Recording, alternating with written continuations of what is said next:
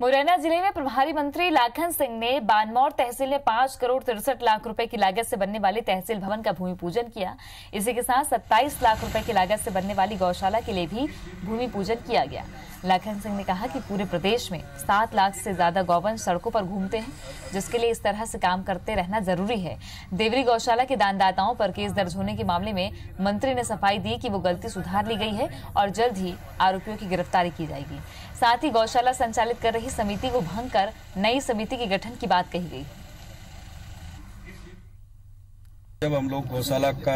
औचक निरीक्षण किया था उस समय की और आज की स्थिति में ज़मीन आसमान का फ़र्क है। और मैं जहाँ तक समझता हूँ कि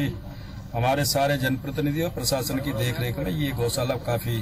अच्छी होगी या जो अव्यवस्था थी वो काफ़ी दुरुस्त हो जाएगी। एक्चुअल में समिति के लोगों में कुछ ऐसे लोग थे जिनका जो डोनर थे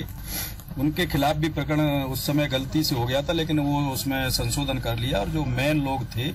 जो यहाँ बहुत सारी अनियमितताएँ करते थे, ऐसे लोगों के खिलाफ प्रकरण कायम हुआ है और वो समिति भी भंग कर दी नई समिति का हम लोग शीघ्र गठन